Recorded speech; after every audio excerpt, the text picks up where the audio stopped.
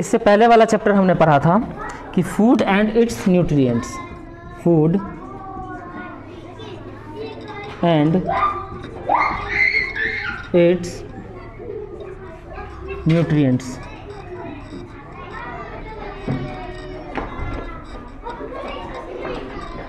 food and its nutrient तो हमने इस चैप्टर को जब पढ़ा था तो हमें इतना तो पता चल गया था कि हम जो भोजन ले रहे हैं, उस भोजन से जो हमें न्यूट्रिशन मिल रहा है, उस न्यूट्रिशन का हमारे बॉडी के ग्रोथ और हमारे बॉडी के डेवलपमेंट में क्या अहम रोल है, ठीक है ना?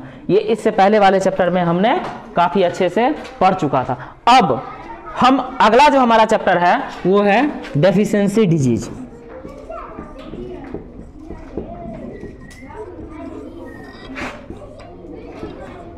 डेफिशिएंसी डिज़ीज़ अब इस चैप्टर में हम ये पढ़ेंगे कि मान के चलो ये न्यूट्रिएंट्स अगर हमारे बॉडी को अच्छे तरीके से नहीं मिलती है या फिर ज़्यादा हो जाती है, कुछ ज़्यादा ही मिल जाती है तो हमें किस तरह की प्रॉब्लम का सामना करना पड़ सकता है। ठीक है? इससे जो पहला चैप्टर था हमारा फ़ूड एंड इट्स न्यूट्रिएंट हमने सारा का सारा एक एक न्यूट्रिएंट्स के बारे में बताया था। कितने तरह का न्यूट्रिएंट्स होता है? पाँच तरह का। कितने तरह का? पाँच तरह का। कौन कौन? Fat protein vitamin vitamins minerals और कार्बोहाइड्रेट ये हमारा क्या है? ये हमारा है न्यूट्रिएंट्स क्या है? न्यूट्रिएंट्स और जो कि हमें कहाँ से मिलता है? फ़ूड से. हमें कहाँ से मिलता है? फ़ूड से. ये हमें मिलता है फ़ूड से. यानी कि जब हम फ़ूड लेते हैं तो फ़ूड से हमें ये पाँच तत्व तो मिलता है। इसके अलावा भी जो है, सो हम लोगों को कुछ कुछ चीज़ें मिलती हैं। जैसे फाइबर जिसको हम रुगे भी रगेज भी बोलते हैं। और दूसरा है वाटर दूसरा क्या है? वाटर ठीक है? ये सब चीज़ें तो ये जो हमारा है, ये न्यूट्रिएंट्स के हिस्से में आता है, जो कि हमारे बॉडी के द्वारा एब्जॉर्ब किया जाता है। ये जो पाँच चीज़ें हैं, ये पाँच चीज़ें हमारी बॉडी के द्वारा क्या किया जाता है? एब्जॉर्ब किया जाता है अपने डेली यूज़ के लिए, अपने डेली वर्कआउट के लिए। ठीक है? लेकिन ये जो दो चीज़ें हैं, ये हमारी बॉडी के द्वारा एब्जॉर्ब नहीं किया जाता है। ठीक है? ये दोनों चीज़ें बॉडी के द्वारा एब्जॉर्ब नहीं किया जाता है, बल्कि बॉडी में जाता है और फिर उसको रिलीज़ कर दिया जाता है। समझ में आ गया? कोई दिक्कत? तो अब हम पढ़ने वाले हैं डिफिशेंसी डिज़ीज़ के बारे में। तो सभी जानते हैं ये सब सारी की सारी चीज़ें कि अगर मान के चलो ये सब जितनी भी चीज़ें हैं फैट हमें सबसे ज़्यादा एनर्जी देती है, ठीक है? प्रोटीन हमारी बॉडी बिल्डिंग मटेरियल्स है, ठीक है ना? हमारी बॉडी बिल्डिंग मटेरियल्स है, हमारे बॉडी के ग्रोथ और डेवलपमेंट में हेल्प करती है। विटामिन्स, जो कि हमारे बॉडी में रोग प्रतिरोधक क्षमता इम्यूनिटी को बढ़ाती है। ठीक है? मिनरल्स हमारे बॉडी में इम्यूनिटी को बढ़ाती है। दूसरी बात, हमारे मेटाबॉलिज्म को मेंटेन करके रखती है। अगला है कार्बोहाइड्रेट ये भी एनर्जी का एक जो है सो बहुत ही अच्छा स्रोत है। अगर ये पाँच चीज़ें हमारी बॉडी में अगर नहीं मिलेगा अगर पाँच चीज़ें हमारे बॉडी में नहीं मिलेगा तो हमारे बॉडी को किस किस तरह की डिस्टर्बेंसेस हो सकती है, ठीक है? ये तो सिंपल सी बात है, अगर फैट नहीं मिले रहेगा हमारे बॉडी में तो अगर फैट नहीं होगा तो क्या हमारा बॉडी एनर्जी को स्टोर करके रख पाएगा? नहीं रख पाएगा, ठीक है? प्रोटीन नहीं रहेगा तो हमारा बॉडी का ग्रोथ और डेवलपमेंट रुक जाएगा। अगर विटामिन और मिनरल्स नहीं रहता है तो फिर हमारे बॉडी की इम्यूनिटी क्या हो जाएगी? कमज़ोर हो जाएगी। हम जल्दी जल्दी बीमार पड़ जाएँगे, क्योंकि बीमारियों से लड़ने का क्षमता किसके पास होता है? विटामिन और मिनरल्स के पास होता है। अगला है कार्बोहाइड्रेट कार्बोहाइड्रेट को हम एनर्जी का स्रोत भी कहा जाता है। अगर कार्बोहाइड्रेट हम लोग नहीं लेंगे तो हम लोगों के पास उतना एनर्जी नहीं बचेगा, जिस एनर्जी को यूज़ करके हम लोग अपना डेली का कार्य कर सकते हैं। समझ में आ गया? कोई दिक्कत? ठीक है? चलो। तो अब देखो, बहुत जगह पे ऐसा होता है कि हमारे बॉडी के लिए सब सारी चीज़ें ज़रूरत है, ठीक है? हमारे बॉडी के लिए ये सब सारी चीज़ें ज़रूरी है, ठीक है ना? अगर हमारे बॉडी में नहीं ये चीज़ें मिलेगी तो क्या हो सकती है? हम बीमार पड़ सकते हैं। लेकिन बहुत सारा ऐसा कंट्री है, बहुत सारे ऐसे लोग हैं जो अभी भी इस चीज़ को एफर्ट नहीं कर पाते हैं। अभी भी इस चीज़ को एफर्ट नहीं कर पाते हैं। जैसे किस वजह से नहीं एफर्ट कर पाते हैं? तो गरीबी के कारण नहीं एफर्ट कर पाते हैं, ठीक है? अब किसी को एक वक्त का खाना मिलता है। ठीक है? तो वो कहाँ से ये जो है सो मतलब पाँचों न्यूट्रिएंट्स अपने अंदर में मेंटेन करके रख पाएगा। ठीक है ना? बहुत सारा ऐसा ऐसा कंट्री है जैसे दक्षिण अफ्रीका हो गया। गरीबी के कारण वहाँ के बच्चे को कुपोषण हो जाता है। ठीक है? वहाँ के बच्चे को कुपोषण हो जाता है। और कुपोषण किसे कहते हैं? जब हमारे शरीर में पोषक तत्वों की कमी हो जाए, उसे हम क्या कहते हैं? कुपोषण कहते हैं। जब हमारे शरीर में पोषक तत्वों की कमी हो जाए, यानी कि न्यूट्रिएंट्स की कमी हो जाए, उसे हम क्या कहते हैं? कुपोषण कहते हैं। क्या कहते हैं? कुपोषण कहते हैं। अब ये कुपोषण भी जो है मतलब दो तरह का होता है। ठीक है? ये कुपोषण कितने तरह का होता है? तो अभी हम चैप्टर स्टार्ट नहीं कर रहे हैं। अभी हमारा जो है सो डेफिशिएंसी डिज़ीज़ हम इसको डिटेल में पढ़ाएँगे। फैट की कमी से क्या होगा? क्या क्या चीज़ें ऐसा है जो बॉडी में डिस्टर्ब होगी? अब कभी कभी ऐसा होता है कि किसी किसी का जो है मतलब कम एज से ही जो है मतलब बाल उड़ना स्टार्ट हो जाता है। ठीक है? ये विटामिन ए की कमी की वजह से होता है। समझ में आ गया ना जी? जिसको हरा साग सब्ज़ी खाना पसंद नहीं है, उसको विटामिन ए की पूर्ति नहीं हो पाती है। ठीक है ना? उसको बाल उड़ना शुरू हो जाएगा। किसी का जो है मतलब नाखून यानी कि उसके फिजियोलॉजी को हम देख करके समझेंगे, यानी कि बॉडी का उसका जो है सो मतलब जो सिम्टम्स है, ठीक है ना, बाहरी सिम्टम जिसको हम फिजियोलॉजी कहते हैं। समझ में आया ना? बॉडी बॉडी का जो बाहरी सिम्टम्स होता है, जिसको हम क्या कहते हैं? फिजियोलॉजी कहते हैं। अब मान के चलो किसी को फीवर आ गया, किसी को क्या आ गया?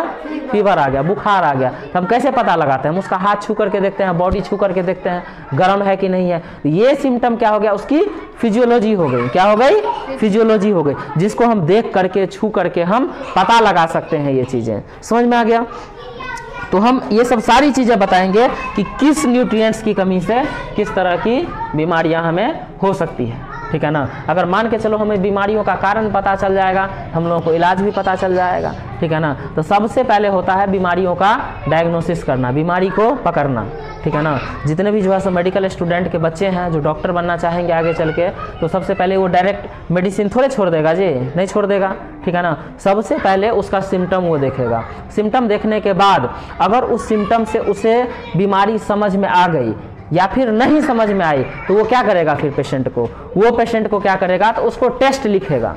समझ में आया ना? उस अगर मान के चलो बुखार में भी जो है मतलब पूरा बॉडी पेन करता है मलेरिया में भी पूरा बॉडी पेन करता है टाइफाइड में भी बॉडी पेन करता है, यानी कि एक ही तरह का सिम्टम कई सारे बीमारियों में अगर आता है तो इस तरह से डॉक्टर क्या होता है? वहाँ पे कंफ्यूज हो जाता है। हो जाता है ना जी? तो वहाँ पे उसको क्या करता है? वो टेस्ट रिक्वायर करता है और टेस्ट रिक्वायर करने के बाद वह सही चीज़ें उसको पकड़ पाता है और जब सही चीज़ें बीमारियों को अच्छे से डायग्नोसिस कर लेता है, फिर उसका वो इलाज भी आसानी से वो कर लेता है। समझ में आ गया? तो इसी तरह से हम लोग सबसे पहले एक एक करके पूरा डिटेल में हम पढ़ेंगे। जितना तुम्हारे बुक में दिया हुआ है, यानी कि जितना तुम्हारे सिलेबस में दिया हुआ है, उससे एक कदम आगे पढ़ेंगे, लेकिन एक कदम नीचे नहीं पढ़ेंगे। समझ में आ गया?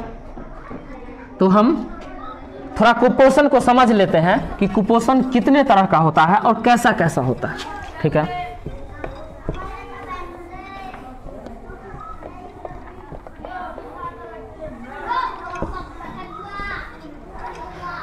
ये तो पता चल गया कि पोषक तत्वों से की कमी से क्या होता है? कुपोषण होता है। पोषक तत्वों की कमी से होने वाली बीमारियों को हम क्या कहते हैं? कुपोषण कहते हैं। अगर किसी की बॉडी में न्यूट्रिएंट्स की कमी हो जाएगी, लिखो इस चीज़ को।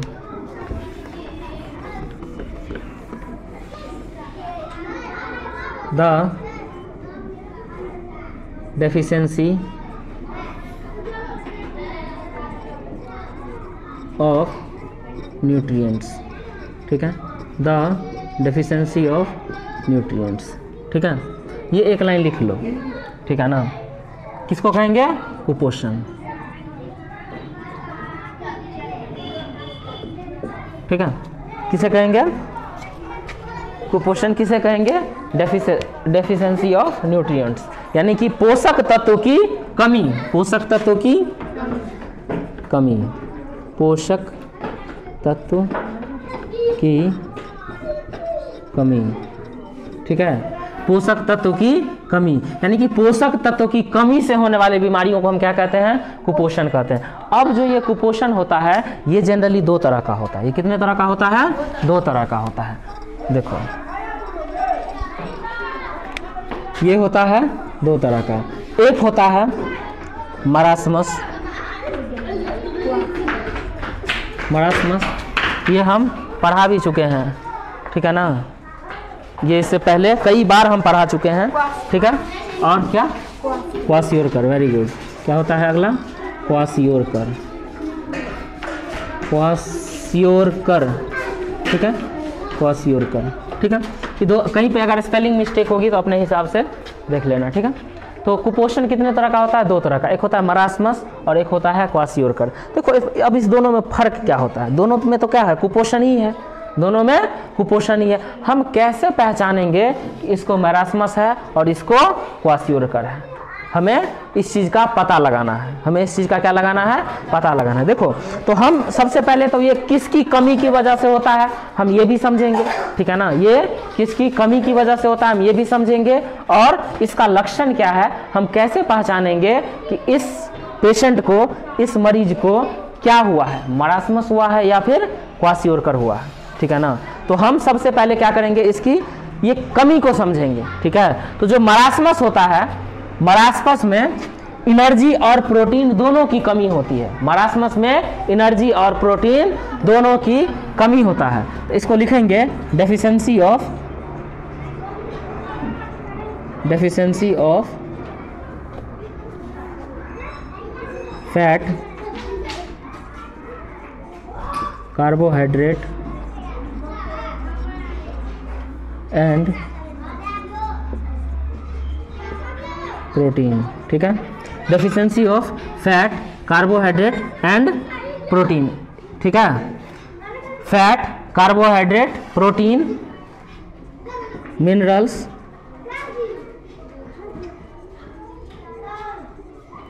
और विटामिन्स ठीक है? मरासमस में ये पाँचों का पाँचों न्यूट्रिएंट्स की क्या हो जाएगी? कमी हो जाएगी। पाँचों का पाँचों न्यूट्रिएंट्स की कमी हो जाएगी। इसमें क्या होगा? क्वासियोरकर में सिर्फ़ deficiency of protein deficiency of protein deficiency of protein अब मान के चलो, अगर इसके अंदर में फैट भी कम है कार्बोहाइड्रेट भी कम है प्रोटीन भी नहीं है मिनरल्स भी नहीं है विटामिन भी नहीं है, यानी कि कुछ भी नहीं है। समझ में आया? यानी कि कुछ भी नहीं है। ठीक है? अगर मान के चलो, अगर इसमें कुछ भी नहीं है तो इसमें तो सिर्फ़ एक की वजह से सिम्टम आएगा, है कि नहीं है? लेकिन इसमें पाँचों की वजह से क्या होगा? सिम्टम्स आ सकती है। आ सकता है कि नहीं आ सकता? ठीक है? तो इसीलिए इसको हम बोलते हैं मरासमस मरासमस का मतलब होता है मरा मरासा मरासमस का मतलब मरा मरासा। मरेगा कौन? जिसके अंदर में कुछ नहीं रहेगा, वही मरेगा ना जी? इससे याद रखना, जो मरासमस डिज़ीज़ होगा, मरासमस में हर चीज़ की डिफिशेंसी होगी। मरासमस में हर चीज़ की डिफिशेंसी होगी। फैट की भी कार्बोहाइड्रेट की प्रोटीन की भी मिनरल्स की भी और विटामिन की भी। यानी कि हर चीज़ की क्या हो जाएगी? कमी हो जाएगी। लेकिन जो क्वासियोरकर है क्वासियोरकर में सिर्फ़ प्रोटीन की डेफिशिएंसी होगी। तुमने कभी देखा होगा, दो तरह के बच्चे देखने के लिए मिलते हैं। एक बच्चा तो वो होता है, ठीक है ना? जो बच्चा दिखने में जो है सो मतलब उसका पेट बहुत बड़ा बड़ा लगेगा, ठीक है? लेकिन उसका पूरा छाती का हड्डी दिखता रहता है। समझ में आया? उसका छाती का हड्डी दिखता रहता है, पूरा हाथ सब एकदम पतला पतला सा लगेगा, ठीक है ना? ऐसा भी होता है ना जी, जो छोटा बच्चा होता है, अगर उसको कुपोषण हो जाता है, अक्सर ऐसे देखने को मिलता है, उसका पेट पूरा क्या होता है, एकदम बड़ा सा लगता है फूला फूला सा लगता है, ठीक है? दक्षिण अफ्रीका में बहुत सारे ऐसे कंट्री है, वहाँ पे अगर तुम जाके देखोगे विकीपीडिया पे तो वहाँ के बच्चे को गौर करके देखना, पूरा छाती का हड्डी सब चीज़ दिखेगा, हाथ उथ का पूरा हड्डी दिखेगा, ठीक है ना? पूरा पतला पतला सा हाथ पैर रहेगा उसका, लेकिन पेट बहुत बड़ा रहता है उस लोगों का, ठीक है? उसको किस तरह की डिफिशेंसी होती है? प्रोटीन की डिफिशेंसी होती है। क्यों होती है प्रोटीन की डिफिशेंसी क्यों? प्रोटीन की डिफिशियंसी होगी तो क्या ये हाथ पैर उसका सूखा सूखा रहेगा? जी। हाथ पैर सूखा सूखा नहीं रहेगा। और फैट की, सिर्फ़ फैट की वजह से क्या होता है? पेट बढ़ जाता है। फैट की वजह से क्या होता है? पेट बढ़ जाता है। लेकिन प्रोटीन की डिफिशियंसी की वजह से क्या होता है? उसका बॉडी सही से ग्रोथ नहीं कर पाता है। समझ में आ गया? कोई दिक्कत? सिम्टम भी समझ गए। अब मरासमस में देखो क्या हो। मरासमस में क्या होता है कि पूरा का पूरा बच्चा ही सूखा रहता है। ना उसका पेट दिखता है, ना ही पूरा हाथ दिखता है। कुछ भी। क्वासियोरकर में फ़र्क है। क्वासियोरकर में फ़र्क है। ठीक है ना? उसमें उसका पेट बहुत बड़ा लगेगा देखने में। ठीक है? लेकिन इसमें ना पेट दिखेगा, ना कुछ भी नहीं दिखेगा।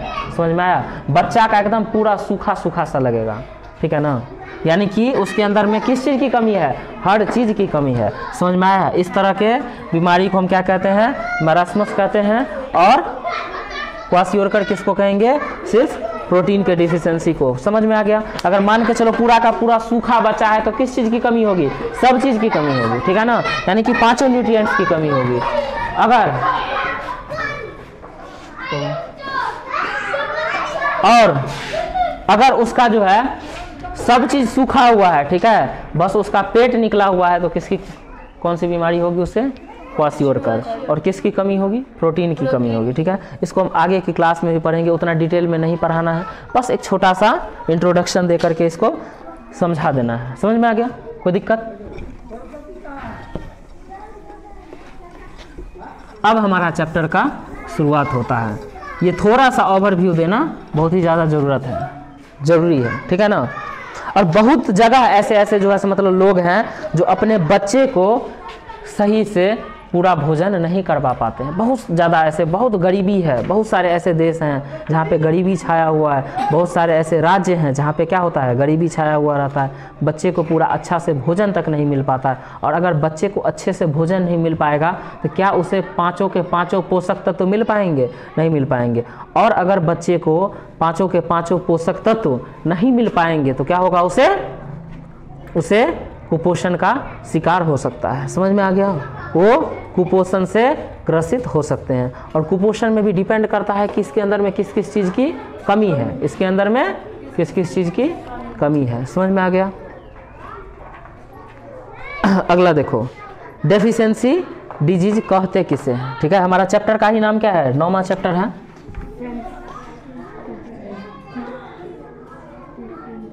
नौवा चैप्टर है।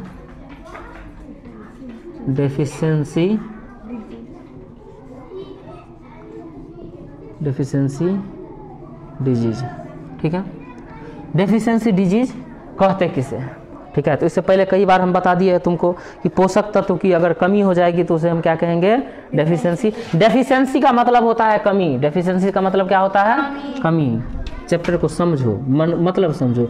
डेफिशिएंसी का मतलब होता है कमी। और डिज़ीज़ का मतलब क्या होता है? बीमारी। डिज़ीज़ का मतलब क्या होता है? बीमारी। यानी कि किसी चीज़ की कमी की वजह से अगर कोई बीमारी हमें होती है उसे हम क्या कहेंगे? डेफिशिएंसी डिज़ीज़ उसे हम डेफिशिएंसी डिज़ीज़ कहेंगे। कोई दिक्कत? समझ में आ गया ना? चलो।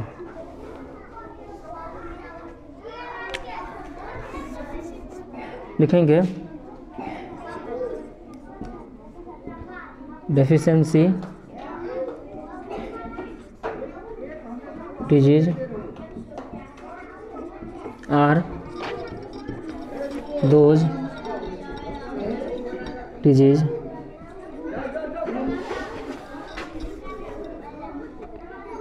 those देखो जनरली होता क्या है जो डेफिशिएंसी डिज़ीज़ है ये कॉमन है। हम लोग अब देखो, किसी किसी का जो है मतलब आदत खराब होता है, ठीक है ना? अब किसी को घर का खाना अच्छा नहीं लगेगा, उसे फास्ट फ़ूड अच्छा लगता है। उसे क्या लगता है?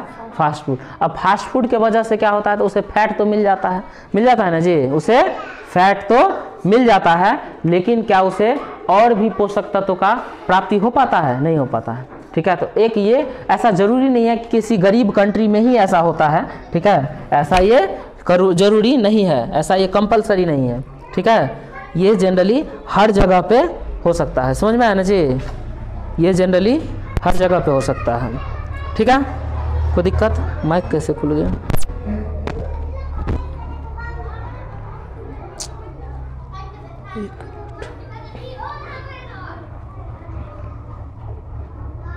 कोई दिक्कत?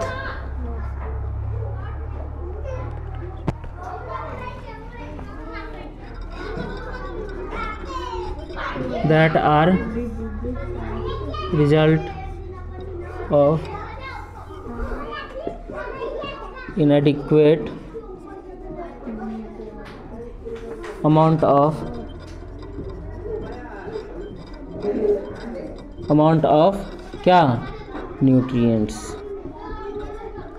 कोई दिक्कत? डिफिशेंसी डिज़ीज़ क्या है?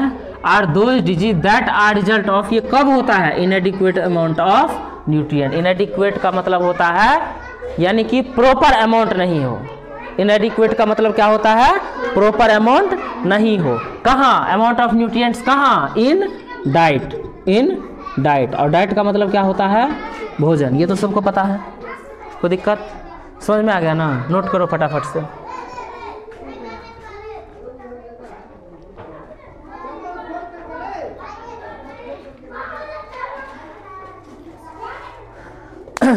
अब हम क्या करेंगे? धीरे धीरे से सभी विटामिन्स के बारे में पढ़ेंगे। समझ में आया कि किस विटामिन्स की वजह से कौन सी हमें बीमारियाँ हो सकती है? ठीक है ना? तो सबसे पहले तो उस बीमारी विटामिन्स की वजह से हमारे बॉडी में क्या लाभ होता है, उस लाभ को पढ़ेंगे। समझ में आया ना? अब मान के चलो, किसी की वजह से कोई ये बंदा ए है, कोई बंदा ए है और ये बंदा बी है। अब इस बंदे को, बंदा बी को ए की वजह से डेली के डेली दो सौ रुपये का फ़ायदा हो रहा है। कितने रुपए का फ़ायदा हो रहा है? दो सौ रुपये का फ़ायदा हो रहा है, ठीक है? और अगर ये बंदा कहीं अचानक से गायब हो गया, अचानक से गायब हो गया, क्या उसको दो सौ रुपये का फ़ायदा बी को कभी होगा ज़िंदगी में? नहीं होगा। नहीं ना होगा जी? हाँ तभी हो सकता है जब फिर से ये ए आ जाए, ठीक है ना? फिर से ये ए आ जाए। कोई दिक्कत? तो उसी तरह से हम सारी विटामिन का पहले हम लाभ पढ़ेंगे। समझ में आया? कि हमें इससे क्या लाभ है? ठीक है? और उस लाभ के बाद हम उस चीज़ को डिस्कस करेंगे कि जब ये लाभ पता चल जाएगा तो अगर ये चीज़ है हमारे पास तो हमें ये ये लाभ है। है ना जी? और अगर वो चीज़ें नहीं रहेगी तो वो चीज़ का क्या हो जाएगा? हमारे पास नुकसान हो जाएगा। समझ में आ गया? तो सबसे पहले पाँच चीज़ें हैं। क्या क्या fat proteins fat carbohydrate proteins vitamins और मिनरल्स पाँच हो गया। तो सबसे पहले हम विटामिन्स के बारे में पढ़ते हैं। ठीक है? ये नोट हो गया सबको? चलो।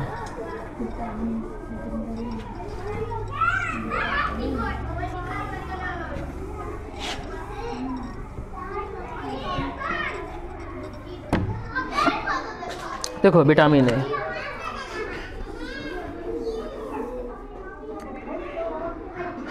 सबसे पहले हम पहला नंबर में विटामिन पढ़ रहे हैं। और विटामिन में भी कौन सा vitamin? Vitamin A. Vitamin A.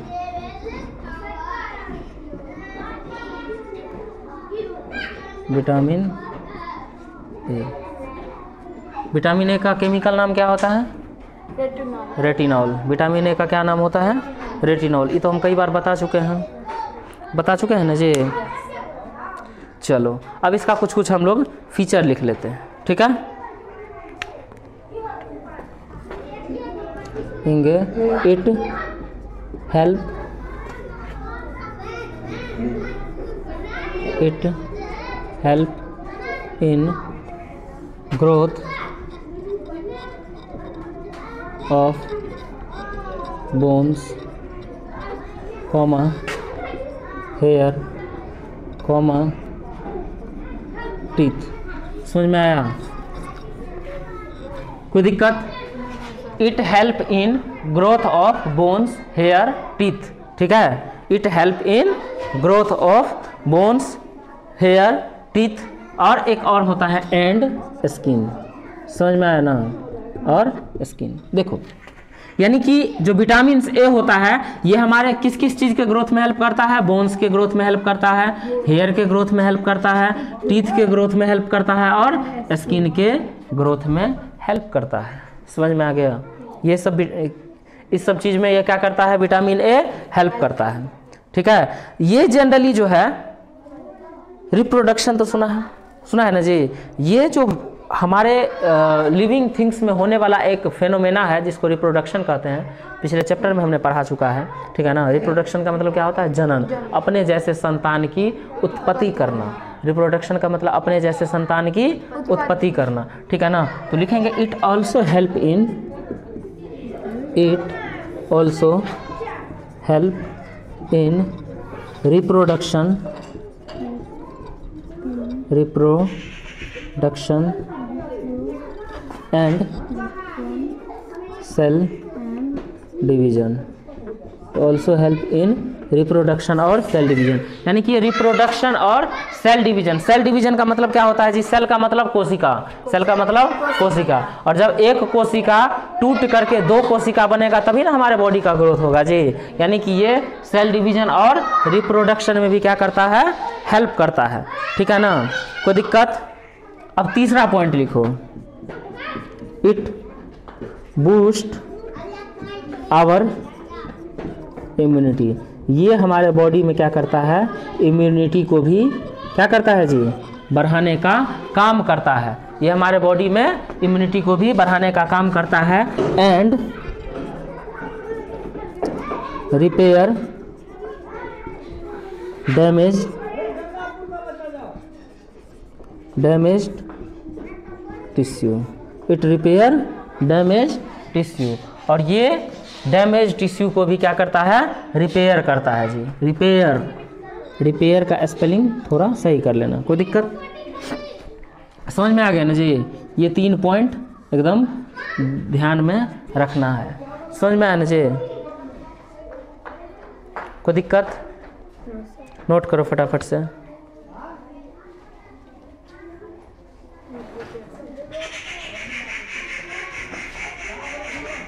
अब देखो, इस विटामिन ए की वजह से, विटामिन ए की वजह से हमें कितनी सारी फायदाएँ मिल रही है। कितना सारा फ़ायदा हो रहा है है ना जी? इस एक विटामिन की वजह से कितना सारा फ़ायदा हो रहा है। हमारे बॉडी में बोन का ग्रोथ हो रहा है, ठीक है? क्या अगर विटामिन ए नहीं रहेगा तो बोन का ग्रोथ होगा? कमी हो सकती है, हो सकती है ना जी? क्या हमारे हेयर का ग्रोथ होगा? नहीं हो सकता है। क्या हमारे टीथ का ग्रोथ होगा? क्या हमारे स्किन का ग्रोथ होगा? क्या रिप्रोडक्शन में दिक्कत आ सकती है कि नहीं आ सकती है? सेल डिवीज़न में दिक्कत हो सकती है कि नहीं हो सकती है? हमारी इम्यूनिटी कमज़ोर हो सकती है कि नहीं हो सकती है? क्या हमारा डैमेज टिश्यू कभी रिपेयर होगा? नहीं होगा। यानी कि ये सब सारा हमारे, इसके रहने से क्या है? फ़ायदा है। इसके रहने से क्या है? फ़ायदा है। और अगर ये चीज़ नहीं रहेगा तो फिर क्या हो जाएगा? इसी की वजह से हमें हमें क्या हो जाएगा जी?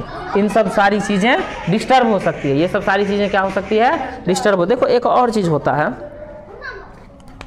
ठीक है? लिखेंगे इस पॉइंट को। It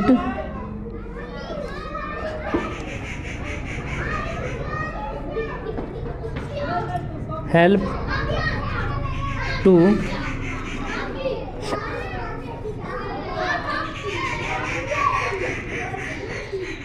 eye for vision ठीक है?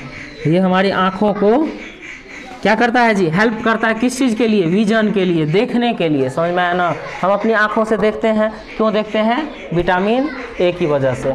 अब देखो हमें इसकी वजह से डेफिशिएंसी डिज़ीज़ क्या क्या हो सकती है। ठीक है ना? अब देखो। ये मतलब जब है तो ये हमें क्या मिल रहा है जी?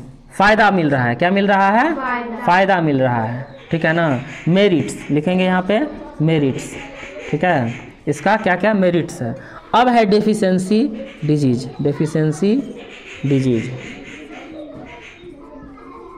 अगर ये हमारे बॉडी में नहीं रहेगा तो फिर हमें क्या? सबसे पहले तो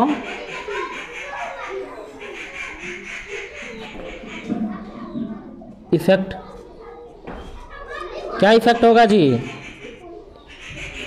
Effect the growth of bone. ठीक है? बोन के बाद हेयर। हेयर हमें, हेयर का क्या हो सकता है जी? लॉस हो सकता है। क्या हो सकता है?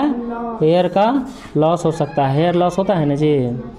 हेयर लॉस हो सकता है। ठीक है? अगला है हमारे effect the bone of hair teeth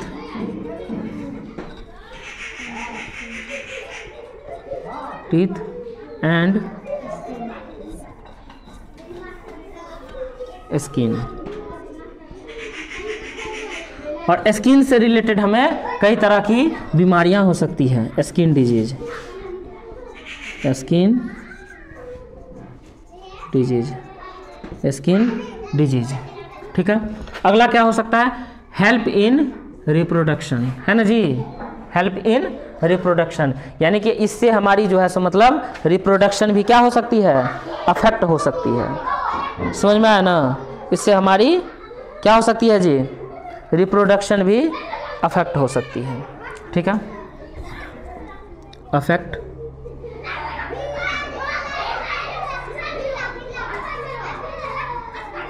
affect reproduction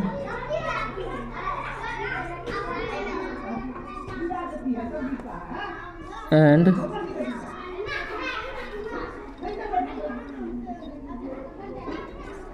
reproduction and cell division ठीक है? अगला क्या है? नाइट ब्लाइंडनेस भी हो सकती है हमें।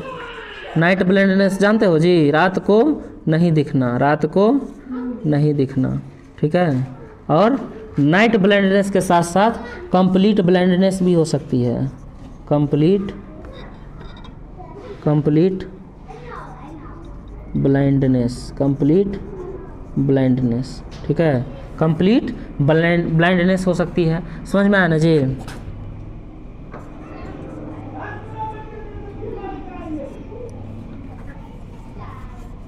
Decreases decreases the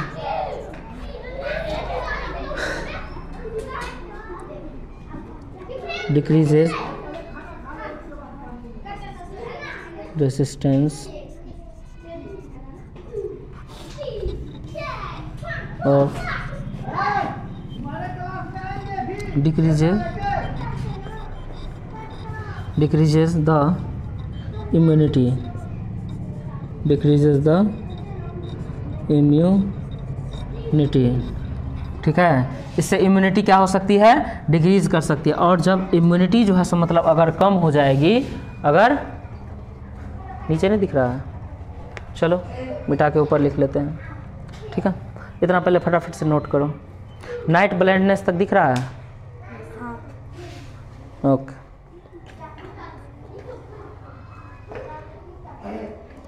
नोट करो फटाफट।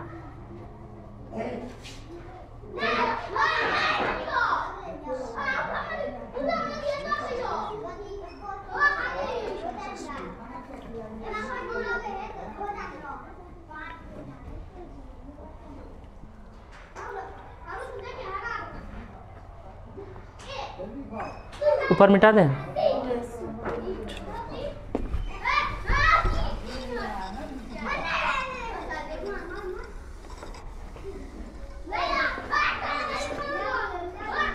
लिखेंगे decreases decreases immunity decreases immunity अब इम्यूनिटी डिक्रीज होगा तो क्या होगा? देखो, जब इम्यूनिटी डिक्रीज होगा तो उस कंडीशन में क्या होगा? ठीक है? तो क्या होगा? डिक्रीज डिक्रीज क्या? Resistance decrease resistance to infection. Infection. Or it's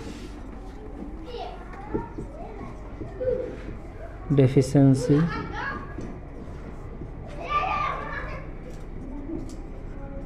disease. ठीक है?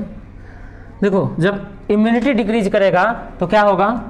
कि तुम्हारा जो है सो मतलब इन्फेक्शन के प्रति इन्फेक्शन के प्रति क्या होगा जी? तुम्हारे बॉडी का जो रेसिस्टेंस है, मान के चलो अगर हमारे बॉडी पे किसी भी ऑर्गेनिज्म या किसी भी जो है सो मतलब बीमारियों का हमला होता है तो हमारी बॉडी उसे रेसिस्टेंस करती है। करती है ना जी? हमारे बॉडी पे अगर किसी भी इन्फेक्शन होता है, हमारे बॉडी में अगर किसी तरह का इन्फेक्शन होता है, हमारी बॉडी उस इन्फेक्शन के प्रति क्या करती है? रेसिस्टेंस पैदा करती है। क्या पैदा करती है? रेसिस्टेंस पैदा करती है। लेकिन अगर मान वो रेसिस्टेंस कौन पैदा करवाता है? इम्यूनिटी कौन पैदा करवाता है?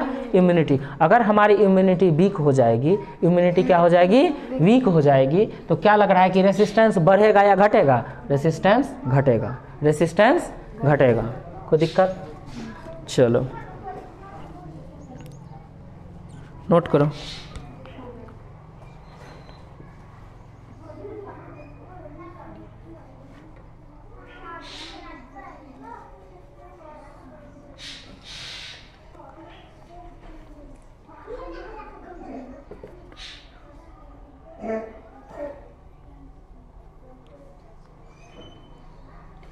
नोट हो गया? देखो जनरली इसमें सिम्टम क्या क्या होता है? तुम सबसे पहला तो हमने क्या बताया था? बोन का ग्रोथ होगा। बोन का ग्रोथ रुकेगा अफेक्ट हो जाएगा। बोन का ग्रोथ क्या हो जाएगा? अफेक्ट हो जाएगा। अगला अगला क्या हो जाएगा? हेयर लॉस हो सकता है हेयर फॉल हो सकता है। समझ में आया ना जी? समय से पहले पूरा का पूरा दांत गिर जाएगा। समझ में आया? आदमी को जब एज होता है तब दांत गिरता है ना जी? लेकिन अगर विटामिन ए की डिफिशेंसी क्या हो, हो गई तो क्या हो जाएगा? टीथ फॉल क्या हो जाएगा? Teeth fall. क्या हो जाएगा? टीथ फॉल हो जाएगा। ठीक है? और स्किन डिज़ीज़ या फिर स्किन ड्राई हो सकता है। क्या हो सकता है? स्किन ड्राई हो सकता है। समझ में आ गया ना? कोई दिक्कत? अगला, रिप्रोडक्शन भी इससे क्या हो जाएगा? अफेक्ट होगा। रिप्रोडक्शन भी क्या हो जाएगा? अफेक्ट हो सकता है। समझ में आया? कभी कभी देखो, दांत में सूजन भी आ जाता है। गम्स जो होता है ना जी जबड़ा। जबड़ा होता है कि नहीं होता है? ठीक है, जिसमें तुम्हारा दांत लगा हुआ तो उसे क्या कहते हैं हम? जबरा कहते हैं। कभी कभी उसमें स्वेलिंग भी आ जाता है। क्या आ जाता है? स्वेलिंग और वो स्वेलिंग किसकी वजह से आता है? विटामिन ए की वजह से आता है। किसकी वजह से आता है? विटामिन ए की वजह से। तुमको कम लाइट में दिखाई नहीं देगा। समझ में आया? डीम लाइट में दिखाई नहीं देगा। रात में तो बिल्कुल भी नहीं दिखाई देगा। किसकी कमी से? विटामिन ए की कमी की वजह से। विटामिन ए की कमी की वजह से। कोई दिक्कत? समझ में आ गया ना जी?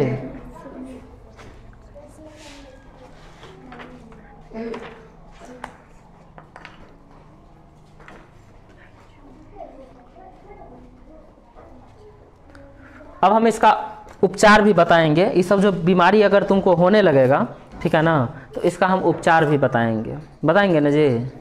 अगर मान के चलो, हम लोग विटामिन ए किस किस चीज़ से मिलता है? हरा साग सब्ज़ी से मिलता है। मिलता है ना जी? अगर मान के चलो वो हमने खाना बंद कर दिया तो विटामिन ए की क्या हो जाएगी? हमारे शरीर में कमी हो जाएगी। कमी हो जाएगी ना? और अगर फिर से हम लोग खाना शुरू करेंगे तो फिर से हमारे शरीर में पूर्ति हो जाएगी। ठीक है ना? तो हम इसकी कमी को भी ठीक कर सकते हैं। कैसे ठीक कर सकते हैं? कैसे ठीक कर सकते हैं? हम विटामिन ए जिस जिस सोर्स से हमको मिलता है, उस सोर्स का हम लोग अपने डाइट में उपयोग करना शुरू कर देंगे। ठीक है ना? लिखेंगे?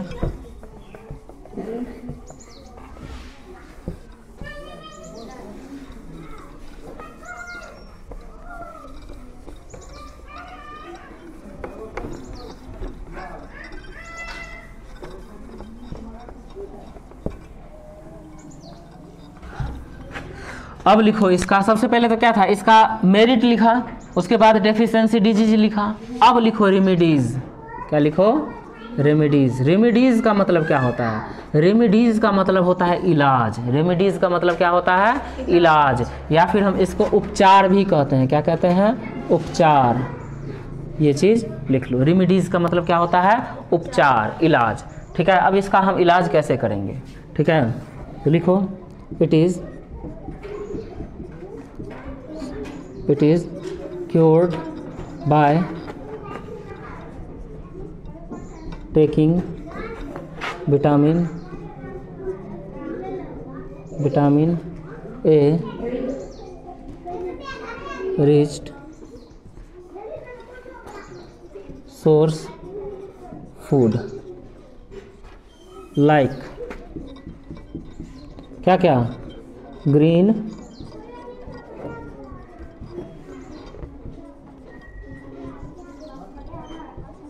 leafy veg green leafy veg और एग हो जाता है बिल्कुल.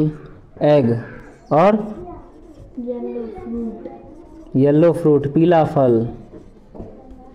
येलो फ्रूट और बहुत सारी चीज़ें हैं। समझ में आया? इसमें बहुत सारी चीज़ें हैं। उसके बाद जो है सो मतलब कुछ कुछ चीज़ें, जैसे मिल्क हो जाता है बटर होता है, ठीक है ना?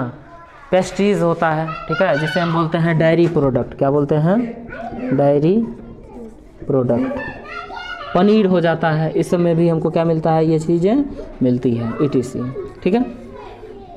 ईटीसी का मतलब बहुत सारी ऐसी चीज़ें हैं, जिससे हमको ये सब चीज़ें प्राप्त होती हैं। समझ में आ रहा है ना? कोई दिक्कत? चलो। तो आज का ये हमारा छोटा सा लेक्चर है और अगला इसके बाद होगा हमारा विटामिन बी सी डी सब के बारे में हम डिटेल में धीरे धीरे पढ़ाएँगे। ठीक है? तो अभी तक फ़िलहाल जितना हुआ है, उस चीज़ को कंप्लीट रिवीजन करो। ठीक है? चलो।